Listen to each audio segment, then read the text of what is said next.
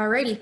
Well, we are now joined by Scott Miller, our Senior Vice President of Competition. Um, we received some questions um, on the last lap, and he will take a few questions to clarify. Um, let's kick things off. Bob. Just go ahead. Yeah, Scott, can you kind of explain the calls, the no call on Denny and the call on DiBenedetto and Elliott at the end of the race? Well, yeah, it um, was pretty clear cut. The 21 hung a left and, and drove those guys down below the line. So um, we had called that twice on the 22 car uh, during the race. So nothing different there. Um, on the the 24 and the 11 being down there, I mean, we in our judgment, um, they were down there to avoid a wreck. And uh, on the nine, I mean, he obviously just pulled out and passed underneath the yellow line. So I think all of it was, um, you know, from our from our vantage point, I think fairly clear cut. And is, would there be any consideration to eliminating this rule or eliminating it maybe for the final lap or overtime?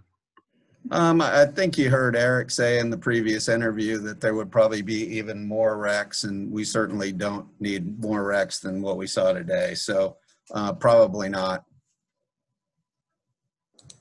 All right, we'll take our next question. Um, Dustin Long, did you have a question?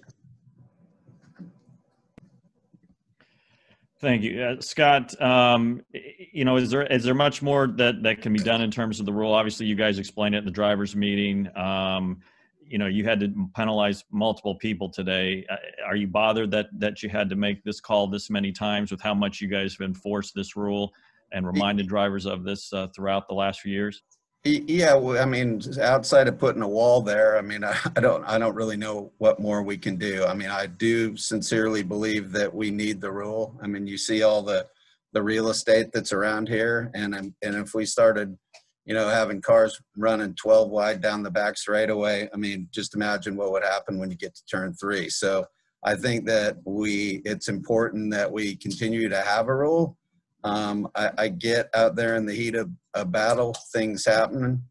It's, um, uh, you know, it's it's it's hard when there's all that real estate down there, but you just you just can't do it. So I mean, I, I don't think that we can eliminate it. I think it would be a mess. So um, we we we kind of are where we are.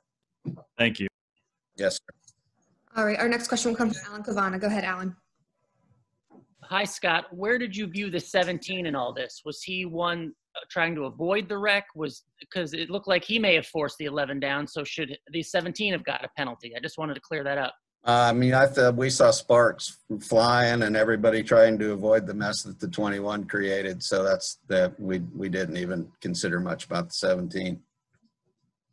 Thank you. Yes, sir. All right, Scott. Well, thank you so much for taking the time to clarify for us um, and have a good evening. All right, you guys too. Thank you.